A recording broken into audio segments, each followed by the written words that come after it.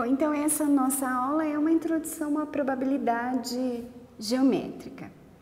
É, então a gente vai considerar uma região A e uma região B que está contida na região A. Então a pergunta é: se nós escolhermos um ponto na região A, qual é a probabilidade desse ponto estar na região B? Bom, essa probabilidade, que é chamada de probabilidade geométrica, é dada por P igual a área de B dividido pela área de A.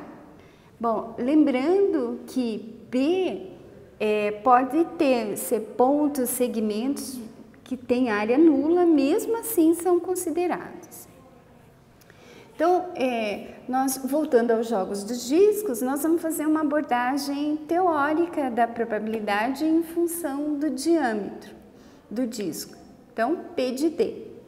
Então, por meio dessa abordagem teórica, a gente pode fazer generalização, a gente pode obter uma expressão exata para P de D e a gente pode eliminar a necessidade de realizar experimento, né? No nosso caso, é, o experimento não é oneroso, né? Mas ele poderia ser.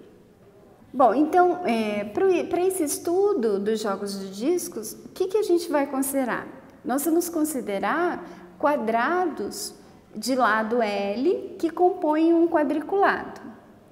Nós vamos considerar que a probabilidade é uma função do diâmetro do disco e, além disso, que L é um parâmetro desta função. É, vamos considerar também que o diâmetro do disco está variando entre 0 e L. Bom, aqui são apresentadas duas é, figuras com as posições favoráveis do disco e as posições desfavoráveis. Então, observe que para ser favorável precisa estar totalmente contido no quadrado lá do quadriculado. Então, uma posição desfavorável é, por exemplo, quando o disco está encostando no lado de um quadrado do quadriculado ou, que, ou quando ele está com uma parte para fora. Quando nós lançamos muitos discos, é, se nós analisarmos um quadrado, um dos quadrados do quadriculado, a gente verifica que os centros dos discos eles geram tanto a borda quanto um, um quadrado, o interior de um quadrado menor contido lá no, no quadrado de lado L.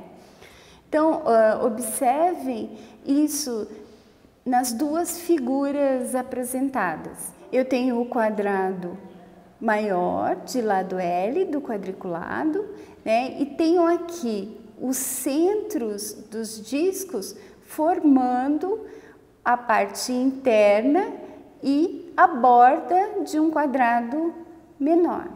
Nessa segunda figura, nós podemos verificar que esta distância aqui é d sobre 2, ou seja, a metade do diâmetro, né? E também do outro lado d sobre 2.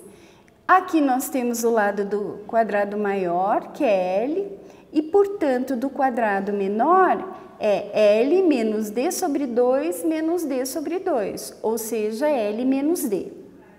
Bom, então, a, a probabilidade do lançamento do disco ser favorável, é, considerando as situações que foram apresentadas como favoráveis às situações apresentadas no slide anterior, então é dado por probabilidade em função do diâmetro do disco é igual à área do quadrado menor dividido pela área do quadrado maior.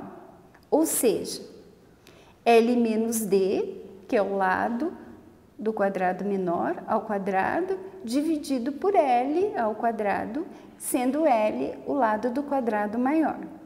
Sempre lembrando que o diâmetro deve estar variando entre 0 e L.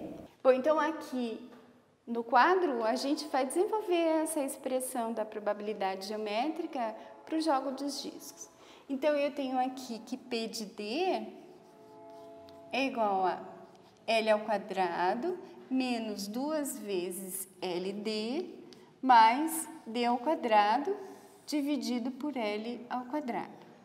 Então, temos lá que P de D é igual a L quadrado por L, que é 1, menos 2LD por L quadrado, que é 2,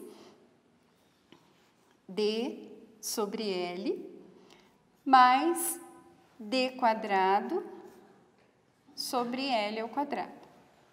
Bom, eu posso reescrever isso, essa expressão, da seguinte maneira. Eu tenho 1 sobre L quadrado, D quadrado, menos 2 sobre L, D, mais 1. Observem que esta é uma função quadrática, certo? Em que L é o parâmetro, a probabilidade é a variável dependente e o diâmetro D é a variável independente, certo? Então, é, vamos considerar os casos extremos em que D igual a zero e D igual a E, né? É, se D é igual a zero, eu tenho aqui que P de D é zero, zero e 1. Um. Então, eu tenho que P de zero é igual a 1. Se D é igual a L, eu tenho que P de D é igual a 1 sobre L quadrado vezes L quadrado menos 2 sobre L vezes L mais 1. Então, eu tenho que a probabilidade em função do diâmetro do disco é. Deixa eu arrumar aqui. L. Então, é. Então, eu tenho 1 menos 2 mais 1, que é nula. Né? Lembra que nós estamos considerando que D está variando entre 0 e L, não incluindo L. Né? Então, eu fiz esse caso extremos apenas para a gente conseguir construir o gráfico da função.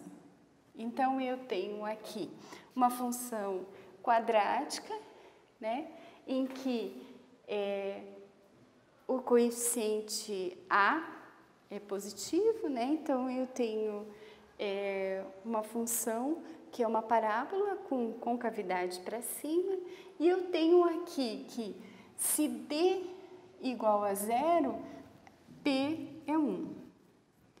E se D igual a L, então vou colocar L, então eu tenho que a probabilidade de L é nula. Então, nós temos aqui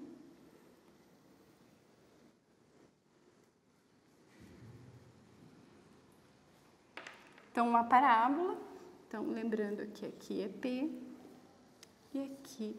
Bom, considerando que o lado do quadriculado que nós estamos estudando é de 30 centímetros, né? Então, nós podemos fazer algumas avaliações para a probabilidade, né? É, utilizando a probabilidade geométrica.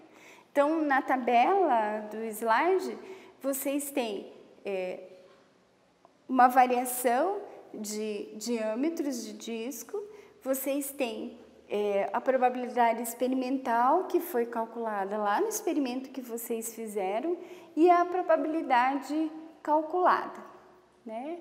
Calculada através desta função. E então nós podemos medir o, o erro absoluto, que é a diferença é, entre as duas, então, esse erro ocorre porque, é, diferente da probabilidade calculada, a probabilidade experimental considera lançamentos finitos.